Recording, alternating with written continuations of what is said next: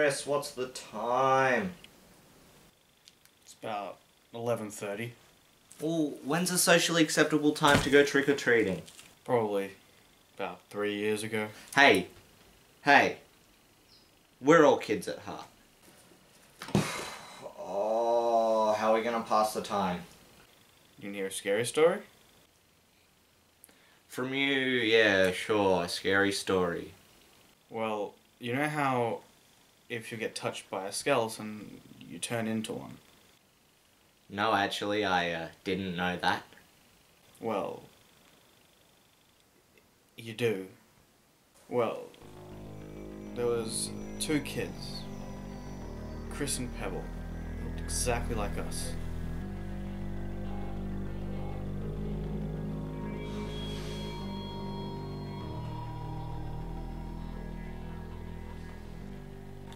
How long till the party? I mean, it's like 12, you know, probably about nine more hours. Oh, but I'm so bored. You know what? I need to go to the toilet.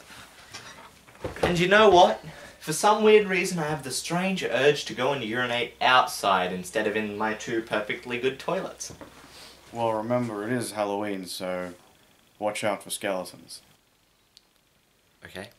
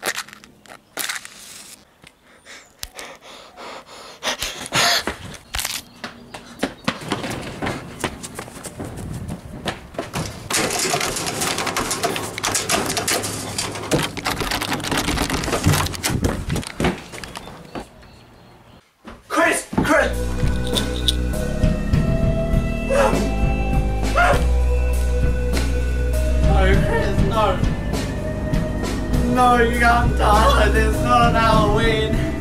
There's a skeleton. It's after me. You turned into a skeleton because the skeleton touched you. Don't let the skeleton get me, Chris. Don't let it. Uh, I hate skeletons. No, Chris, no.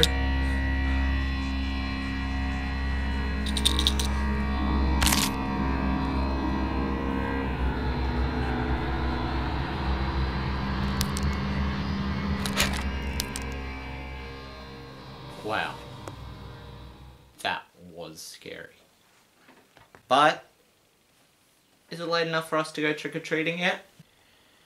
I guess so. Awesome.